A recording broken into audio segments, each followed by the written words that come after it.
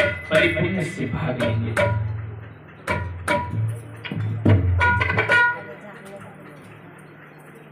आज की कथा हम लोग सुनेंगे कुछ रोग के बारे में और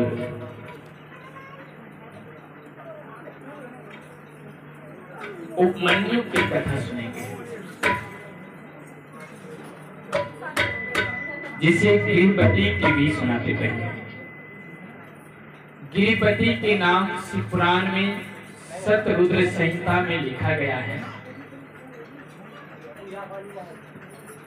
कि गिरिपति एक अलग आयु, कम आयु के बच्चा था। क्या था? कम आयु के।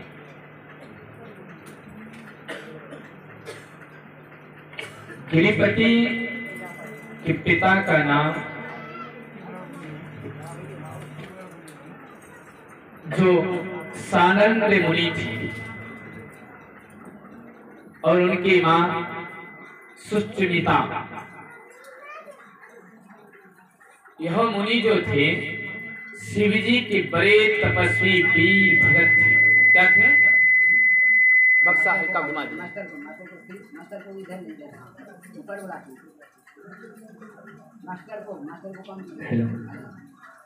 शिव जी के यहाँ नहीं है दूर मास्टर लिखा हुआ है वहाँ। नहीं वहाँ से खाली मास्टर कम कर हो जाए शिव जी के जो भगत थे मास्टर को कम कीजिए ना वहाँ। यहाँ ऊपर में ऊपर में। शंकर भगवान की हाँ? शिव जी के जो भगत थे वो भगत क्या था? मास्टर को कम कीजिए खूब तपस्वी थे। तब करने वाला।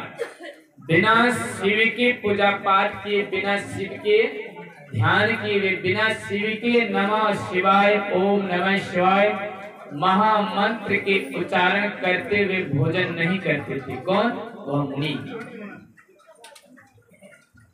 चित्रमस्ती जो उसकी पत्नी थे, उनका पत्नी भी बहुत शिव जी के बगैर। दोनों दंपति मिल करके दोनों पति पत्नी मिल करके बिना शिव की पूजा किए हुए भोजन एक रत्ती भी नहीं करते एक भी। जब गृहस्थी हो गई, शादी हो गई, आश्रम हुआ तो क्या होता है लोगों को? संतान की ज़रूरत है, कि नहीं? अभी संतान नहीं होती तो हम लोग गाँव समाज में लोग ताना मारने लगते कि बांझी है, फन्ना है टसका है, ये है, क्या नहीं।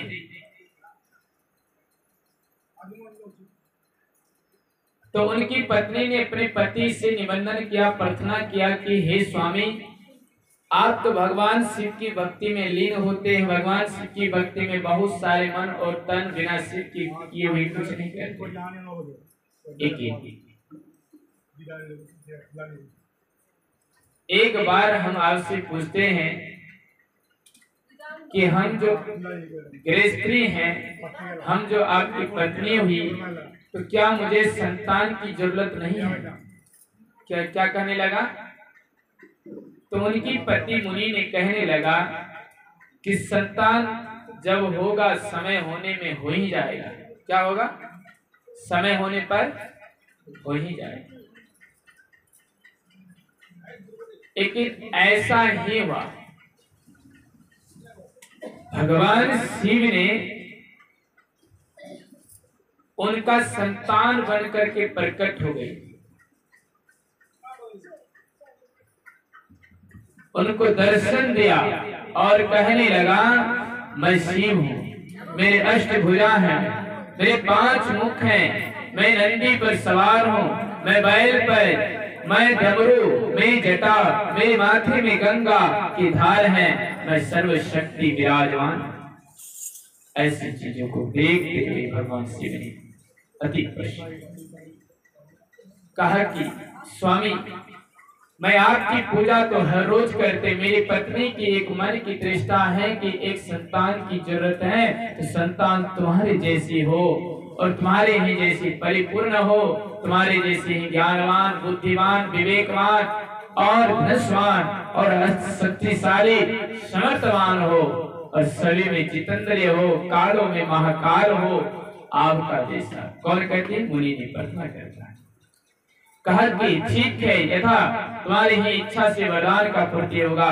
जब होगा, समय आएगी तो मैं इस तरह के संतान बनकर आपके घर में जन्म ले लेंगे। तो कुछ दिन के बाद ऐसे ही हुआ। उनकी पत्नी गर्भवास में गर्भ धारण हुआ।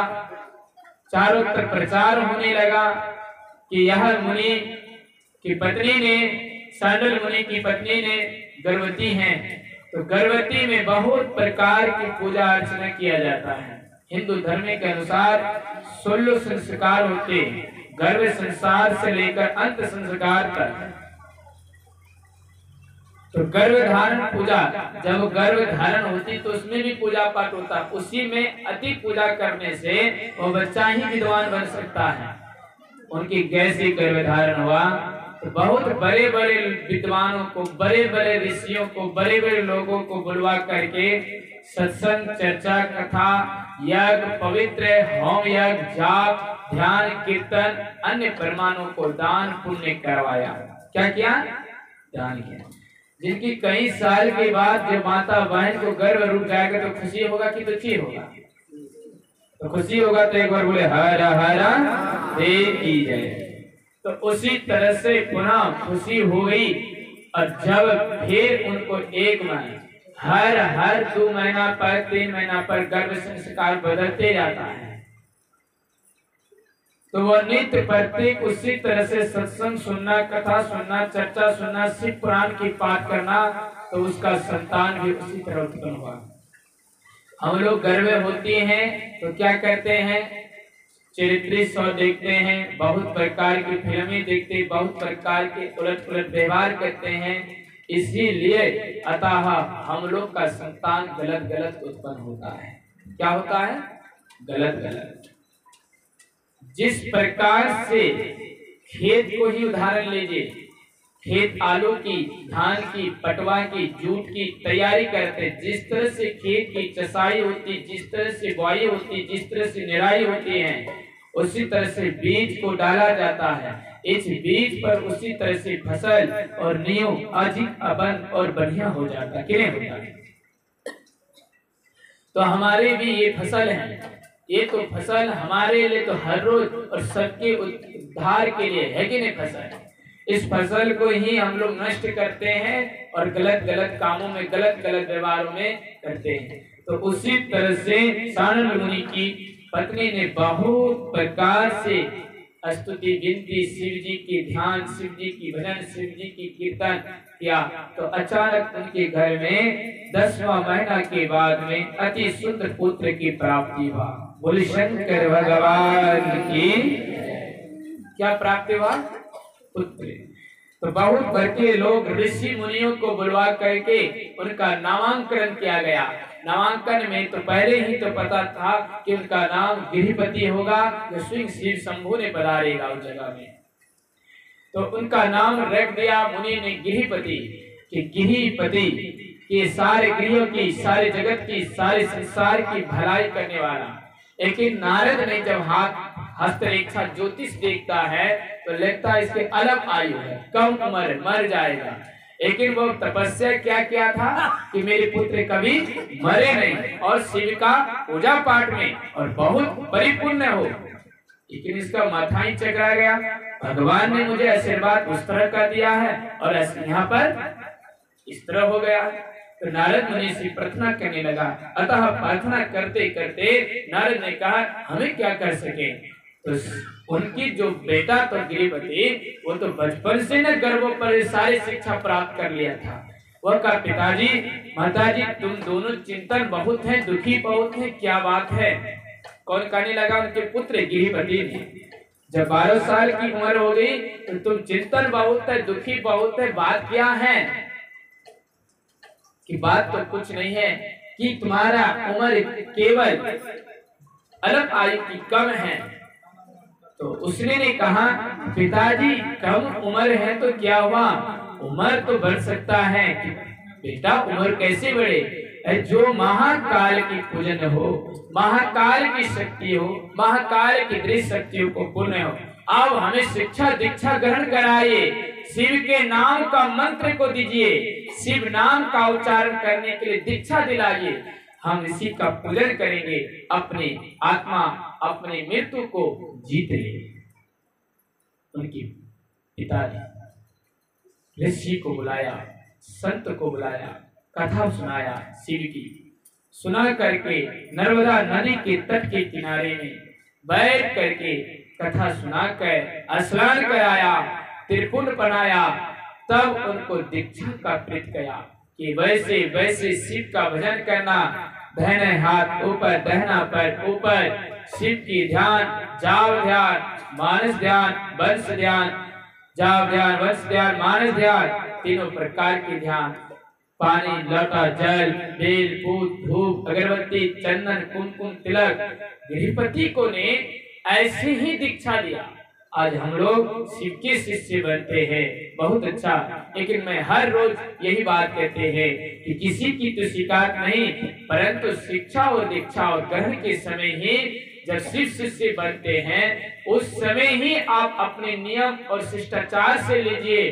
तो आप और हमारे देश, हमारे समाज, हमारे घर का बीज अच्छी तरह से, अच्छे प्रकार से भक्ति खाना, पीना, मांस, मदिरा, लहसुन, प्याज इत्यादि सामग्री को त्याग करके, जो हमारे भोजन के लायक नहीं उनको छोड़ करके, इस तरह से गृहपति के जैसी दीक्षा को अगर ग्रहण करेंगे, तब देखो हमारी फिर से उम्र बढ़ जाएगी। बोल शंकर भगवान की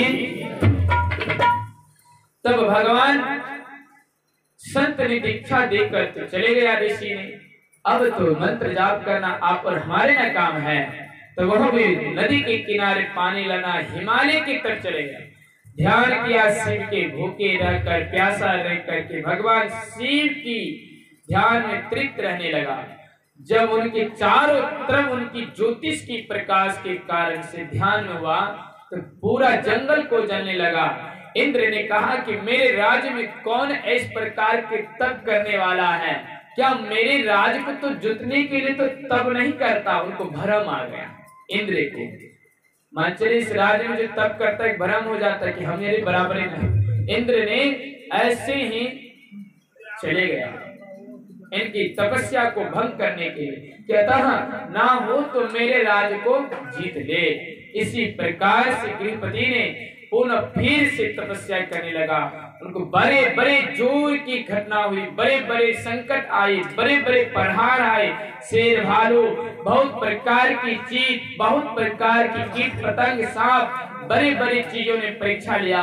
एक शिव नाम मंत्र के चारण जब भगवान यमराज ने आया, उनका उम्र कम था तो यमराज ने जैसे खींचा रस्सी तो तैसे वह शंभु शिव की पूजा में था लीन। वह शिवलिंग को पकड़ लिया। शिवलिंग को पकड़ा तो भोलेनाथ ने तुरंत प्रकट हुआ, हे यमराज, तू नहीं जानते जो मेरे काल, मेरे नाम महाकाल जितेंद्र शिव, अमर, अवघर त्रिनेत नीलकंठ, जटाधारी, त्रिकम, गौरी, अर्धाग्नि, पार्वती के नाम से जो पूजा करते हैं, मैं उनको आयु ही कम होते हैं, तुम तो इसकी इच्छा वर देते हैं। जाइए, तुम तो इसे नहीं ले जा सकते हैं। तब ये देखते रह गया कि यमराज थोड़ा मूर्छित हुई और पुनः भगवान शिव ने और पार्वती ने ऐसे आयु की वृद्धि दिया। कि का पुनः भी से आयु बढ़ने लगा। बोले, शंकर भगवान की भगवान शिव के, भगवान गुरु के, भगवान शिष्य के, इस प्रकार के जो भक्ति करता है, अटल निश्चय और विश्वास से भगवान आपको कभी न कभी निश्चित पूर्ति कर देता है। गिरिपति ने बहुत उसका नाम ऐसे नहीं, पालनहार, जो भगवान ने कहते गिरिपति ने, जो जिसकी सेवा में लीन हो, अपना जान से दूसरी सेवा के लीन हो, उसी तो उनका नाम शिव है। लेकिन हमको शिव की पूजन किस प्रकार से दीक्षा ग्रहण किया? अगर उस प्रकार से शिव की पूजन नहीं करता तो गृहपति का भी उम्र घट जाता। हम लोग भी क्या करते हैं कि किसी को रोग होता है, ग्रस्त होते, बीमार होते हैं, भगवान शिव पुराण में लिख दिया है।